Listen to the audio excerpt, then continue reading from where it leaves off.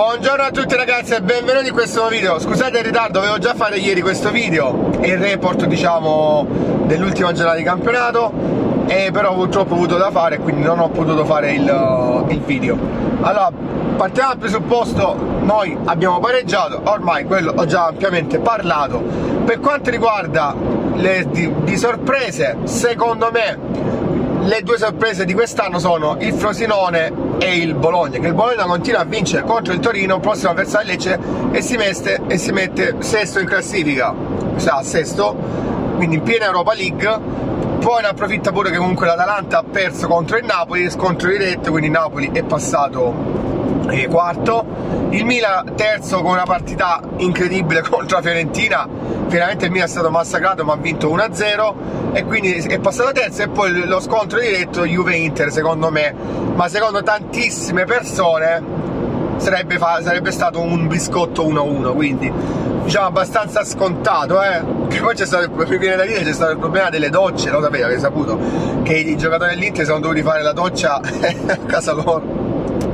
Vabbè succede anche questo anche se siamo nel 2024 quasi succede anche questo le docce si possono rompere le tubature e quindi loro si fanno la doccia a casa a casa mamma mia per il resto giù la Salernitana che mi hanno rotti i coglioni un sacco di persone mi hanno rotto i coglioni la guardo sempre in casa degli altri la Salernitana Salernitana ultima non vince mai non vince mai ah, e ha vinto contro la Lazio mi puzzano picca no? Lotito cose non penso ovviamente eh No, questa è solo la mia stronzata che sto dicendo io.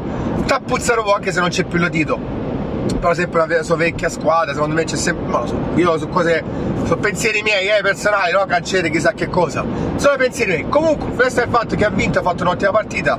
Candreva, veterano, quarantenne quasi. Vabbè, c'ha 36 anni, 37, però dico quarantenne per un modo di dire.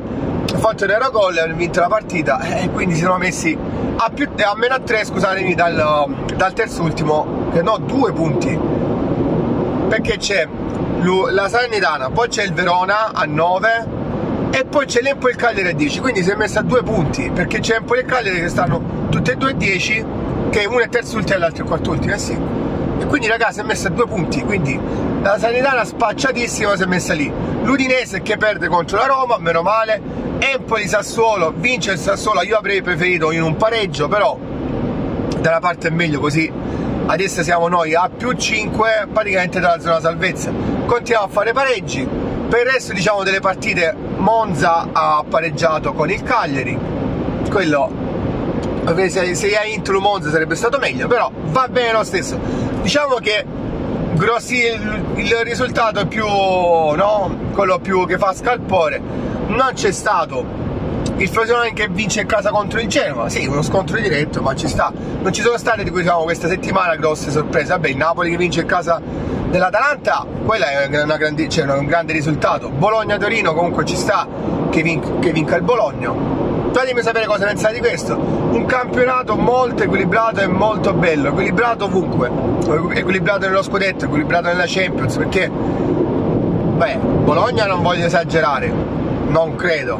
Però comunque c'è la Roma, c'è l'Atalanta, c'è il Napoli che comunque rischia, cioè che potrebbe arrivare quarto, il Milan stesso comunque che comunque stenta, ha perso anche in Champions, ha vinto contro la Fiorentina comunque è rimasta lì a 20 punti, quindi sta, sta lì praticamente, perché Napoli è quarto, è quarto a 24, quindi sono 3-4 punti. Stiamo là, l'Atalanta 21, stiamo lì, se la giocheranno lo scudetto penso che la Juventus e l'Inter quest'anno hanno qualcosa in più, quindi non lo so. Può darsi pure che Napoli si inserirà, farà altre 4 vittorie di fila. Eh, non lo so, per ora mi sa che sono. Se non erro sta a 6 punti dal primo posto, eh. Se, se non mi sbaglio, 6 o 7 punti. Non sono pochi, ma non so. Eh, comunque non è facile, ecco più, quando vai più sopra è più difficile recuperare punti. Sotto 6 punti, 5, 6, 7 si possono recuperare perché comunque una può fare 3, 4, 5 sconfitte di fila e allora tu fai 3 vittorie e sali. In, in alto, quanti più punti c'è di distacco? Più difficile perché una squadra grande è difficile perdere tante partite e quindi è normale che un'altra squadra è difficile che le raggiunga. Eh, cioè, ma questo si sa, è una cosa che si sa. Quindi la salvezza equilibrata fino a noi, secondo me fino a 15 punti, per il resto no fino a 15 punti, quindi Sassuolo, Lecce, Genova, Udinese, eh, Empoli, Cagliari, sono tante squadre, Verona, Salernitana, ci sono tantissime squadre no? in lotta. Quindi, ragazzi, fatemi sapere cosa ne pensate. A me questo campionato mi sta piacendo. L'importante è che ne salviamo noi dell'Auro e me ne fotto un cazzo. Vogliono salire, vincere scudetti che cazzo vuole.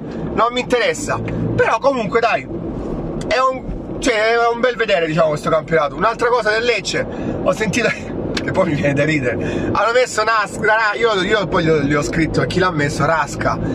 Speriamo con Rasca, pensa con Rasca e con un rompe li cucchio io che dico Rasca. Pensa con Rasca e con un rompe li cucchio a Lovare. Mi hanno detto pure il Barese, ma è vera sua storia. Un altro Barese.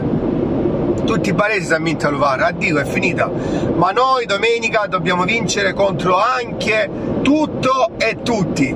Dobbiamo veramente sono 10-11 partite che manca la vittoria contro il Genova non mi ricordo forse era la quarta giornata di campionato se non erro quarto quinta quindi sono passate ormai eh, 10 partite.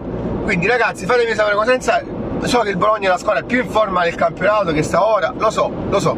Però visto che comunque il Bologna ha già vinto tante partite ha rutti i coglioni qualche sconfitta bolognesi va bene speriamo domenica visto che giocheremo alle 12.30 di farci un bel piatto alla bolognese. Domenica vi dobbiamo mangiare tortellini alla bolognese. Ciao ragazzi bari merda sempre via